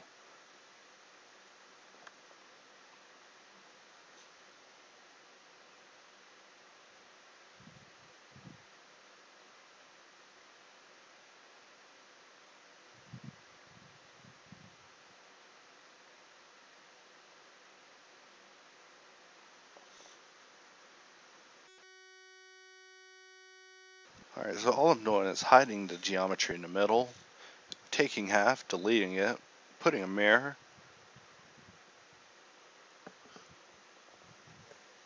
keeping the same UV set, adding another color space, filling it with white, so that way I don't see the vertex paint in my textured view anymore. And all I have to do is just turn one of those little upper panels into a brush panel, drag in alphas, and build my brushes here instead of using the other panel that's kind of in use. So I believe at this point what I decided to do is set up my shortcut to go to Photoshop. So when I edit externally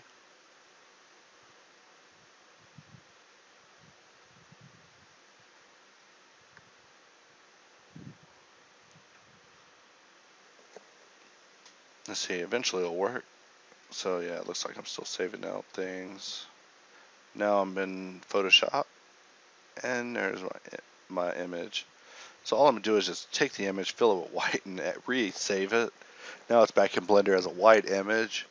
And I can come through and begin stamping. Now, with this sort of thing, you know, when it comes to setting up your stamps, you want to probably just duplicate a brush, uh, change your stroke to be a drag dot, change your uh, your viewing angle to say view plane instead. And then you can just come in and just drop stamps on this thing that's pretty much what I'm going to do is uh, I'm going to drop these stamps, turn those stamps to normals, and then from there use those normals on the surface. Or a displacement modem. Now, in the in the Paint edition, they've they've added curve brushes. They've added um, the line brush, which is um, pretty much like the curve on a straight, uh, which is really cool.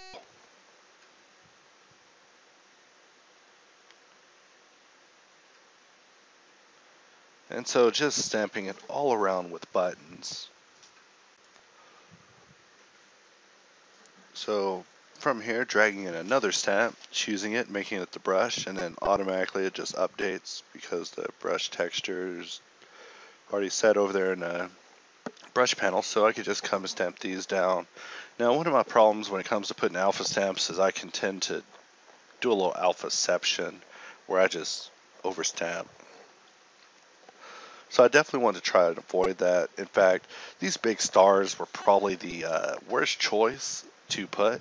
These were probably a better choice in retrospect. I like them, but yeah, the big stars we probably could have done it without. And you know, with this, we should be done. So now from here, what I did was um, change over to another brush, duplicate it, call this one the line, and or it looks like it's still just a regular brush, but usually I make a special brush for all these. And all this brush is doing is just let me um, just draw lines on the surface. So don't look at it as black lines, look at it as where, I mean, look at it as uh, indentions in the surface because that's what it's going to turn into is um, surface changes. So eventually I just get messy. I'm like, you know, I don't even feel like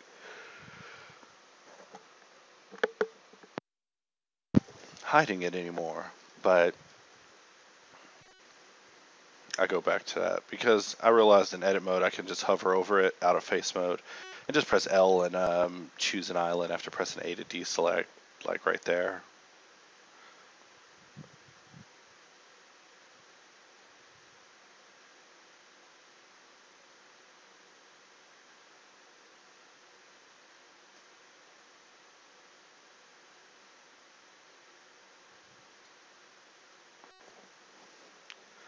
and more. So I just be experimenting.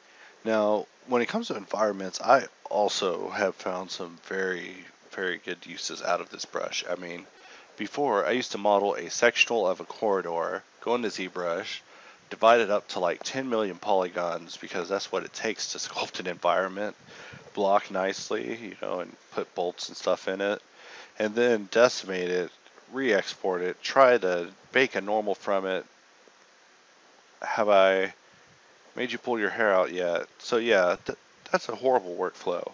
So alternatively, instead of going into ZBrush, sculpting up a high poly mesh, going out, going through xNormal, now what I'm doing is painting it in Blender as a black and white map, taking that into Knald and turning it into a normal. And by that, I've and by doing that, I've actually been able to bypass the entire process of um, just painting random things out on normal maps and using nDo and things that are just I don't know. I feel that if unless it's especially needed, are excessive in my workflow because the goal is to get from point A to point B with the robot in as few steps as possible. So I've sent out my color map, I've sent out my AO map. I mean, I've sent out my color map and I've sent out my um, map of just the stamps and etching. So now the next thing is to take this image into Photoshop and select everything that's black.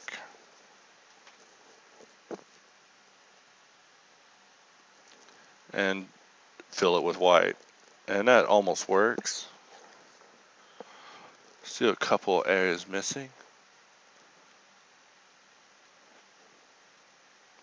And so now from here I have to play with the feather and the shift edge to really get that to fill in, but you'll watch me.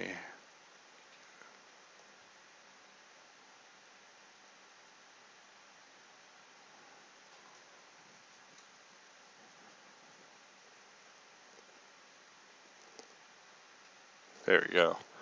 So now for the most part everything is looking good. I mean there's a couple little excess scratches but you know when it comes to uh, these maps I don't care a whole lot in particular about um, you know, little excess things, especially if I know that they're near the edge because, you know, that won't come back to haunt me, right? So in Knald, you want to load it up as a color map, which will load up this information as a normal. Now, the reason I used a 4K is because half of these little stamps will be very small on the map, so I want them to come up as large as possible. And, you know, after playing with the values here, mainly the uh, lowest ones, usually I start from the bottom and work my way up. I mean, I usually, yeah, start from the bottom and work my way up until intensity.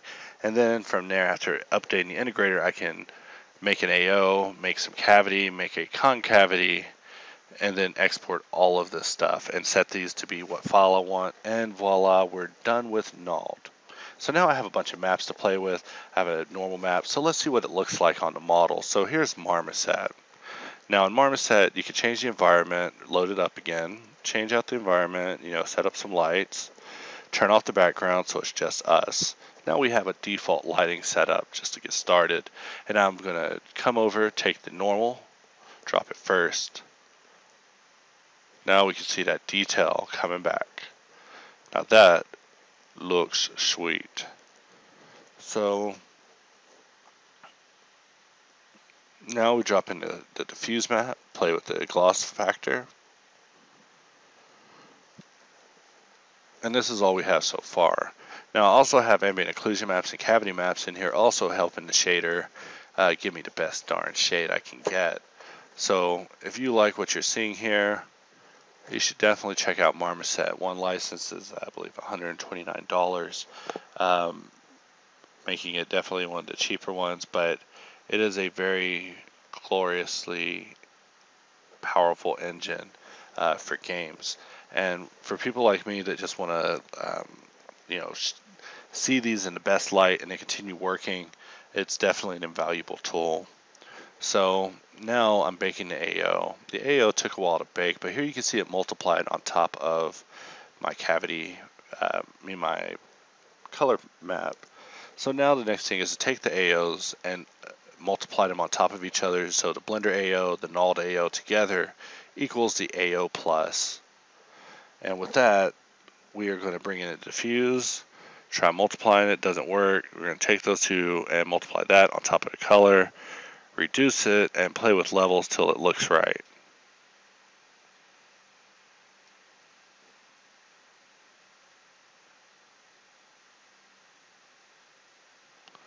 And now to take the concavity map and just screen it on top to just give it a like indication of some um, metal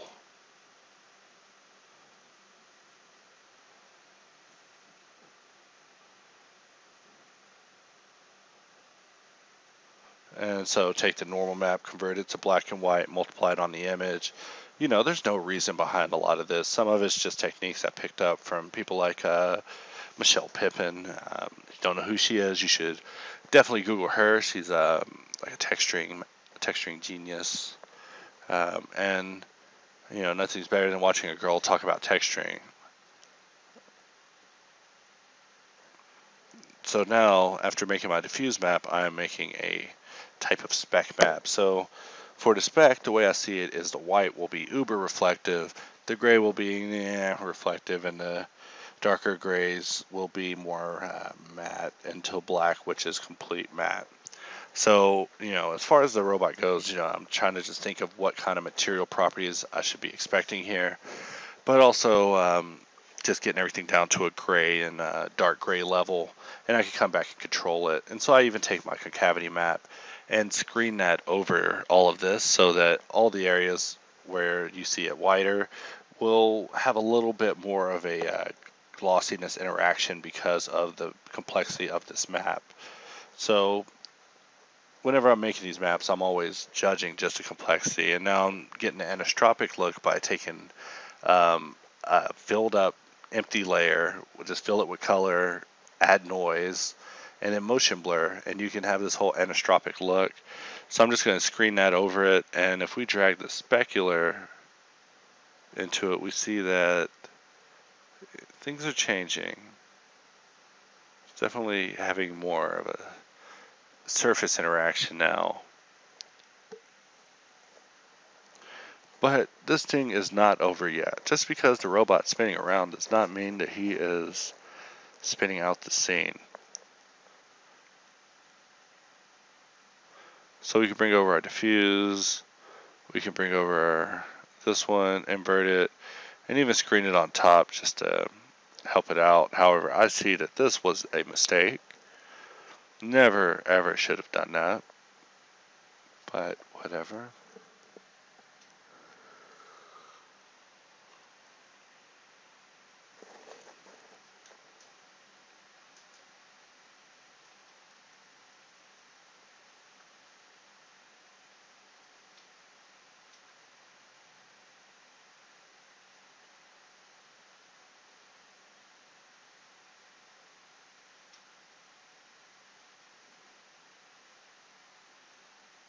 And now making some text.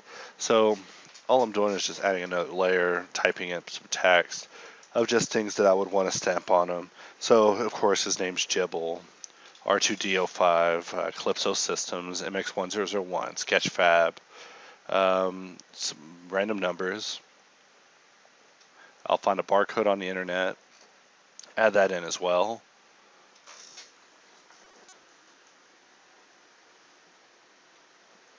And even duplicate these numbers, put them on top, and there I have my barcode.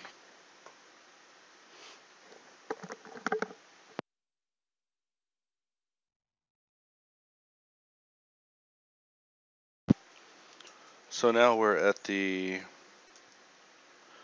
12 minute mark. I would say that we have about 12 minutes together before this video concludes.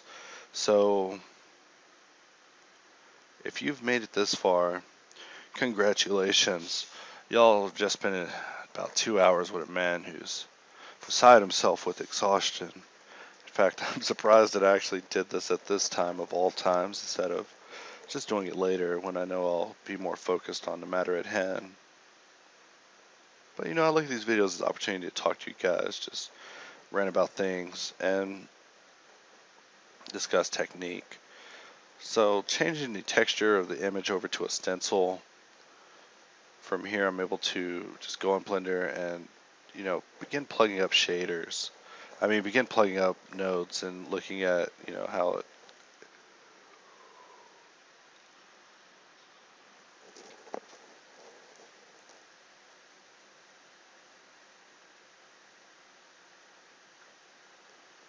So one of these is for the displacement, the other one is for ensuring that the um, areas that were indented with bolts are now chrome like bolts. I mean, yeah, in, indented with bolts on the alpha are now, you know, physically receiving that shader, which is just a glossy shader mixed with that image as a mask and a color ramp for more control. So right now the render is looking incredibly white. I don't know why. It could be because of the fact that the glossy is connected up to it and is more likely reflected blackness background. But for these sort of things, sometimes it takes me a moment to troubleshoot and figure out what it is. But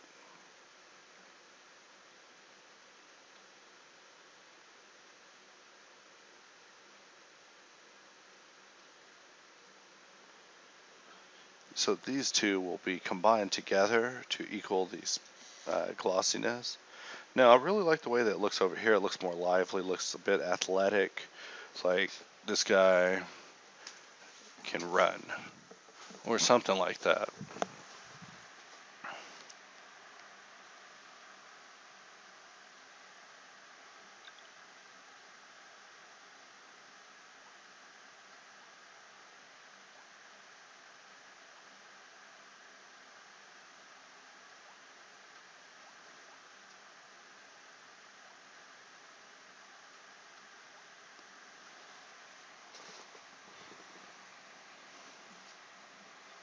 It's usually at this point in the render in which I see the most potential in the model, like as far as things to add to it and you know little design elements to change. But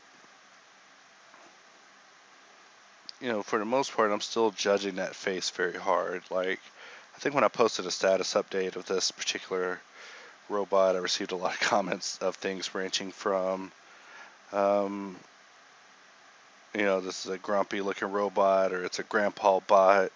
But, you know, I did receive a lot of a lot of um, pop, positive feedback. But, you know, the faces of the robot is definitely something that's important when it comes to, you know, giving your robot a ferocious look. I think I kind of sometimes lead more towards um, insectoid features in the facial areas because my end result, um, I'm hoping for, you know, has robots that have very strong insectoid features. So the stencil didn't work over in the paint branch, I think when I was messing with it. So I just brought it back over um, here and just, you know, add that back up and stamped it onto the surface, filled it with white because I've already made the diffuse texture. There's no going back. So now it's just a matter of stenciling these on. Now this is something I never do to robots, and I, I, wish I, I wish I did. You know, I should start doing this a lot more um, because it makes them look so much more. Um, I wouldn't say realistic, but uh, so much more interesting. Like the the person's eyes who are going to look at it will probably look at this one a lot longer than they would um, a robot that was just all bland like my last one.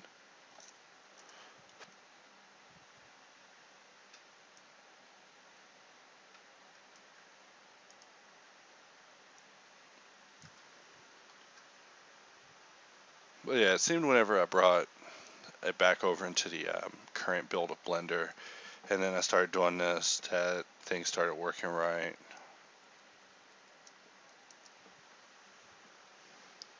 But I noticed the viewport started to get a little slow, and I think that might have been because the sub D was on.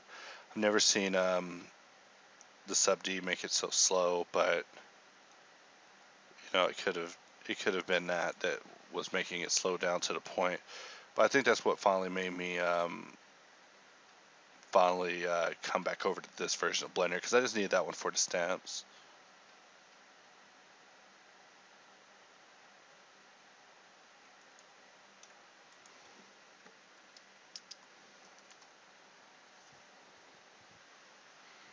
And I'm just stamping these everywhere. I mean, and to also help sell it, I'm trying to um,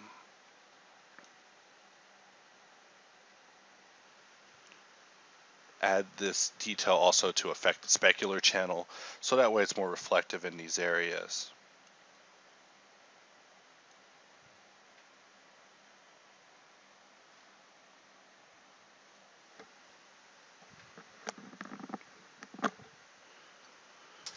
Uh, but I can't believe it's about to already be at the end. You know, this has been a long journey that we've spent together. A two-hour talk show is so easy task. Individual sitting is also not an easy task, but I think the, the video I've done so far was probably like two hours and 30 minutes of just solid talking about stuff. So um, I'm trying to get better about being being um, being all ranting, but now I got to change it back over to cycles because internal has a little bit more better behavior.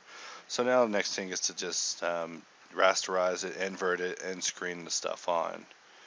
And you know that usually that'll do the job.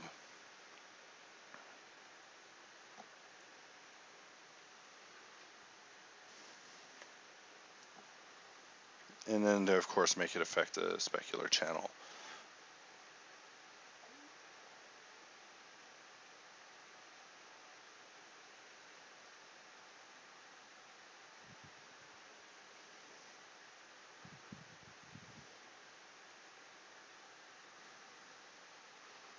And now you can see it barely showing because I don't think the texture is there.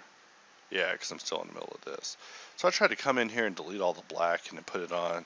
Now for something like this, I think I would have went in, um, if it was personal, I would have stayed in Facebook, I mean not Facebook, I would have stayed in uh, Photoshop, you know, took a, a brush, turned on some shape dynamics and uh, just started eating away at the edges a little bit you know, just make the paint look a little beat up. You know, try to fit in fit it in with the surface because the surface is already showing a lot of darkness and um, you know, kind of um, edge dirt through the uh, ambient occlusion being multiplied on top of it.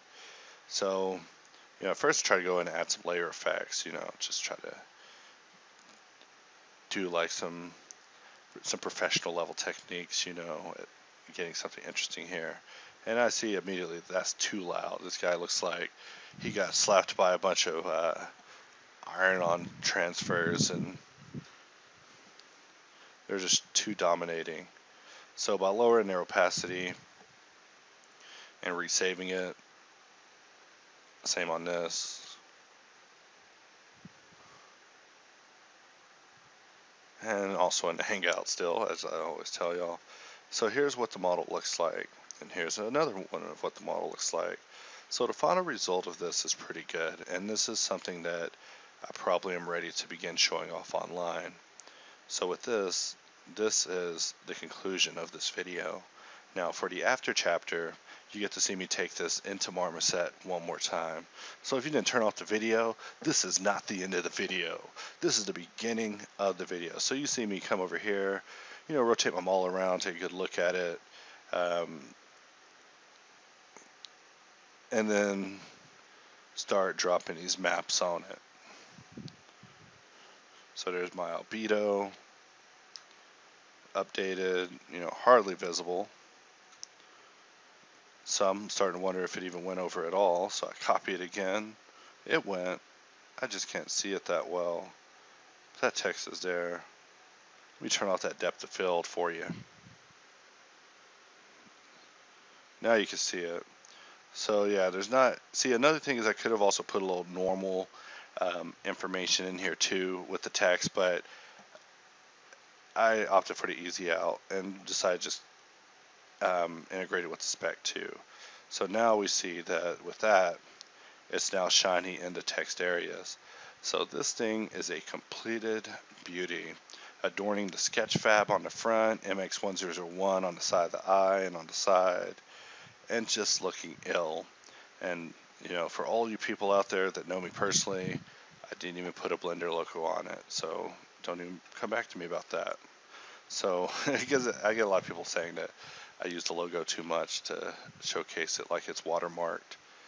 But the thing is, I take pride being able to do something like this with open source software so the main reason I use this in all my videos instead of, um, in most of my videos instead of ZBrush is because, you know, ZBrush, there's tons of videos of people doing amazing things with it. But with Blender, not a whole lot, you know. There's like 10 heroes in the Blender world total I can think of that are still, you know, on the scene. But most part, everyone's over at the cookie where I'm just not invited. So with that, we do conclude this video. But I thank you for watching. And happy blendering.